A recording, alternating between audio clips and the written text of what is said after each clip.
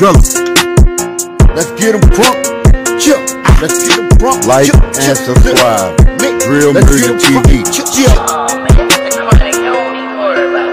Okay, guys, I want to speak on the O Block situation, and uh, what I want to speak on right now is um, everybody, everything, all fun and games until they send that exterminator to start clearing out some people, because a lot of stuff getting told on them. It's a lot of people doing things, a lot of this and that. But when them boys retaliated and did what they had to do, hey, everybody turned on them and got mad and tried to put everything on them. They left with all the beef and all the troubles and everything like that. Them people got family too.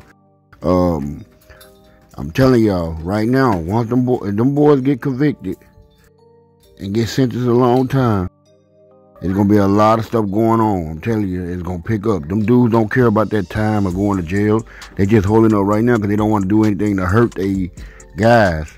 But them boys finna start. They got young dudes that don't care about that, man. Them people walk down Tuka Daddy in the old Block, didn't give a damn. Them people kill A Roy on camera in front of everybody. They beat a lady for recording it. Um, they shot up across the street and killed a little girl, and nobody had anything sympathy or did anything about that.